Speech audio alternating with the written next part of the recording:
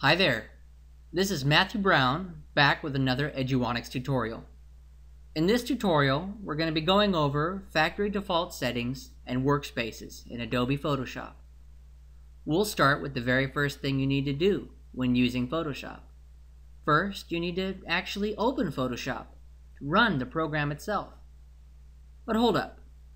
Before we run Photoshop, there's one thing we need to do to make sure that we're all on the same page. This goes back to the factory default settings I was talking about. So, if you happen to have Photoshop open already, like I do, please go to the top right corner of the window and click on the X button to close the program. Now, Photoshop is no longer running.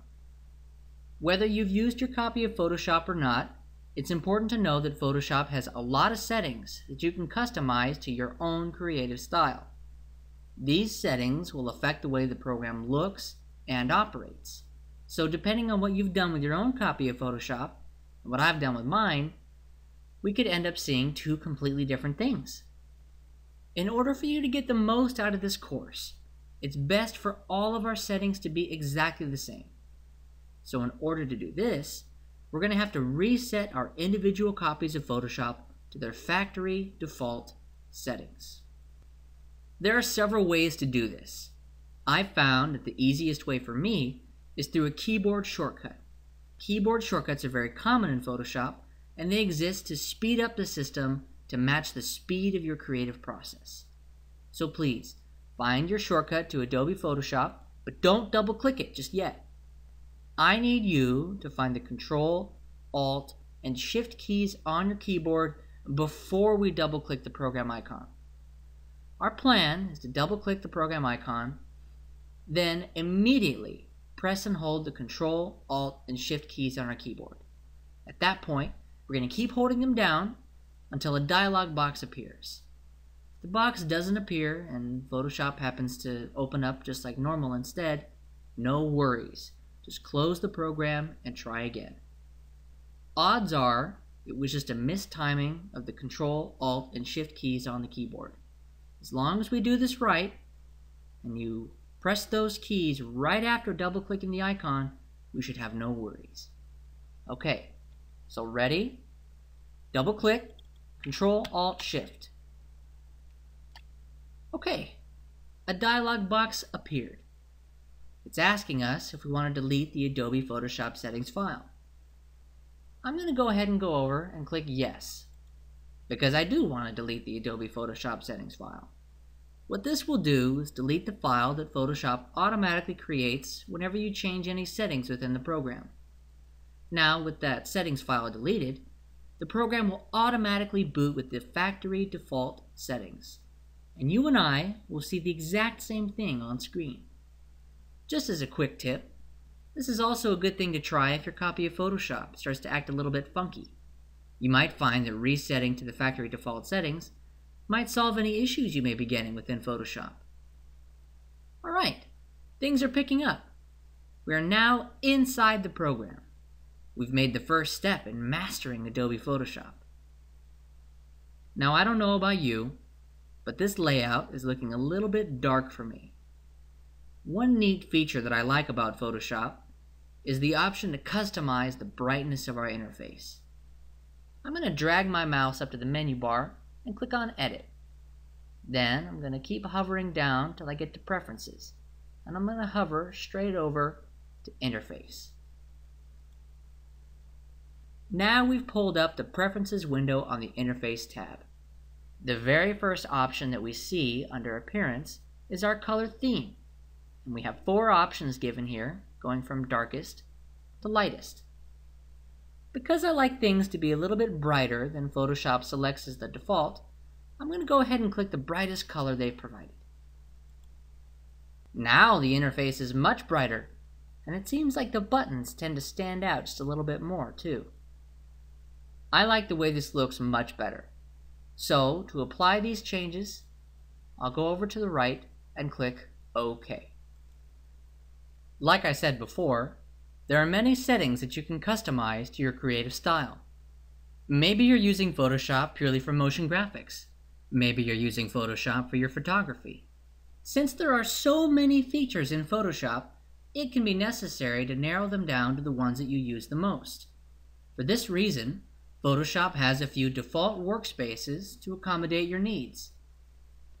Let's go up to the menu bar again, but this time we'll click on Window.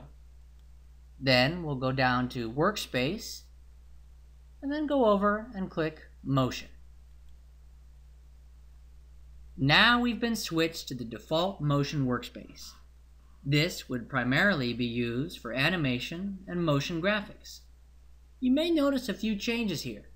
A new tab has been added to the bottom of our workspace. This one's labeled Timeline. And this is where we would see individual frames of images for our animation. Some more changes in our workspace are near the top right corner of the screen. The Color and Swatches tab have been replaced by a histogram and our document info. Not to mention our side panel here has gained an additional six buttons to assist in animation using Photoshop. This is just one of the many different workspaces possible within Photoshop, and there are several more that are available just by default. So let's go back up to that menu bar, we'll click Window again, we'll hover to Workspace, and then we'll hover over to Painting. Right away you can see that our histogram and info tabs have been replaced by swatches and navigator tabs. We also have a whole new tab full of brush presets. This workspace has been made to accommodate the tasks of a digital painter. We're not going to be doing any animation or painting at the moment, so let's go back to our original workspace. We could go back and click Window on the menu bar again, or you may notice that here on the top there's a button under the Minimize, Restore, and Close buttons. This is a quick workspace shortcut.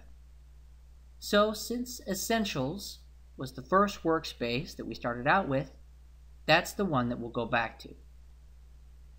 Photoshop even allows you to create and save your own workspaces. All we have to do is adjust the layout to the way that we prefer and save our progress.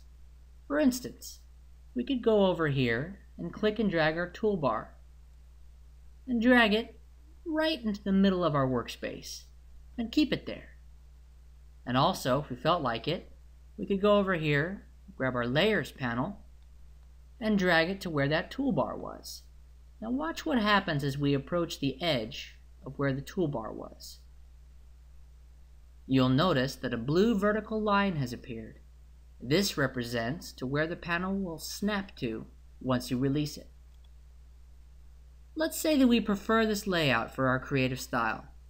Let's save it so we can switch to and from it whenever we like. Let's go back up to that shortcut button again. We'll click on it, and then we'll hover down to New Workspace. We can name this whatever we like. Let's just call it uh, New Workspace. And then we'll go over and click Save. Now, let's say that we want to go back to our default workspace. Which one was that again?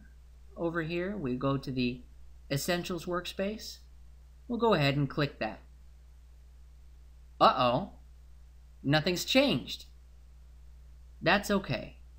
All we have to do is click on this again, go down to Reset Essentials. Ah, everything is back to the way it was. And now our new workspace is available for us to switch to whenever we like. You can see it right there. I encourage you to play around a little bit with layouts. It may not be that important now, but down the road it can be very helpful once you develop your creative process. And remember, if you make a mistake and delete or add something that you decide that you don't want, don't panic. Just switch to a default workspace and reset it. In the next video, we will focus on creating a new document within Photoshop and opening pre-existing images for editing.